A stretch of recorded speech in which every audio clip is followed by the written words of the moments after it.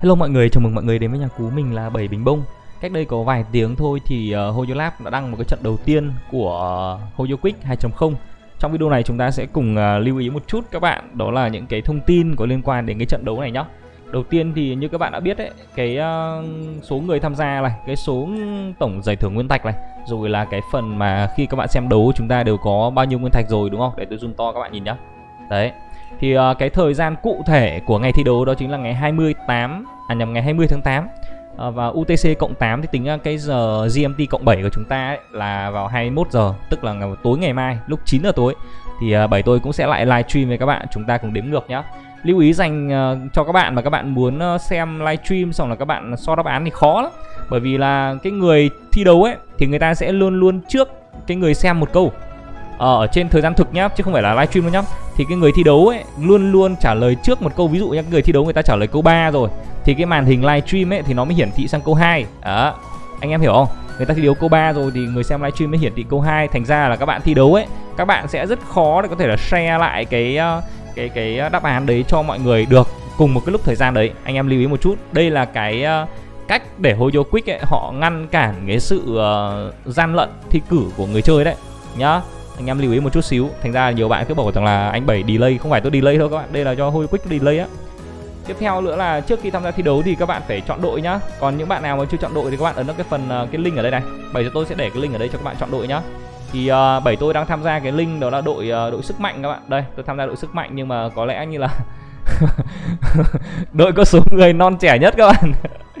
Nhiều người người ta chơi đội trí tuệ quá sợ quá. tại sao người ta lại chơi đội trí tuệ nhờ người ta chả chơi đội sức mạnh gì cả. Tôi thấy đội sức mạnh kiểu đầu to nhưng mà não bằng quả. À không nói chung là đầu to cũng được chứ sao? Trời ơi thì uh, các bạn nếu mà muốn chơi cùng tôi thì các bạn có thể chọn đội sức mạnh nhá. Nhưng tôi thấy cái tỷ lệ này nó hơi hơi ít đấy.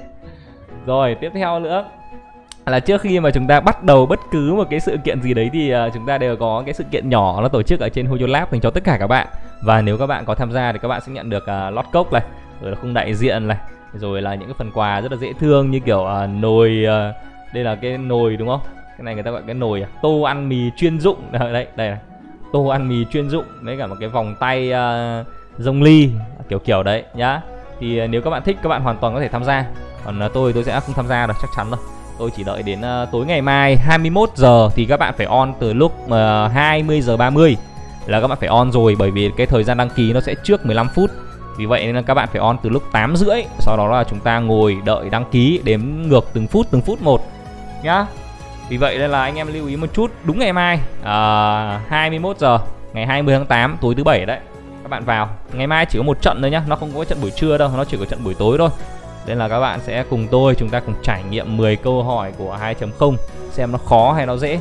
Tôi vẫn hy vọng rằng là tôi sẽ không bị lọt câu 8 trên đây là tất cả những tin tức mà bảy tôi muốn đưa đến cho các bạn ngày hôm nay. Ngoài ra còn những tin tức có liên quan đến cái uh, sự kiện web. Đây sự kiện web của uh, Hoyoverse. Nó vừa mới ra thêm cái sự kiện web của uh, đây này của Tignari này. Xong rồi là cái sự kiện web uh, bên dưới này nữa. Uh, đâu ta? Đây cái sự kiện web hành trình trên giấy nữa. Thì đây chúng ta đang có hai cái sự kiện web chạy song song. Để kéo dài chắc khả năng cao nó sẽ kéo dài từ giờ cho đến hết ngày uh, 24 tháng 8 là hết rồi đấy. Các bạn à, nếu mà chưa tham gia hai cái sự kiện web này thì các bạn hoàn toàn có thể tham gia để nhận những cái phần thưởng nguyên thạch cuối cùng của phiên bản 2.8 trước khi mà chúng ta kết thúc cái à, đảo táo vàng và chúng ta bước sang bản 3.0 đến với cả Sumeru. Chúc tất cả các bạn à, may mắn và thành công nhá.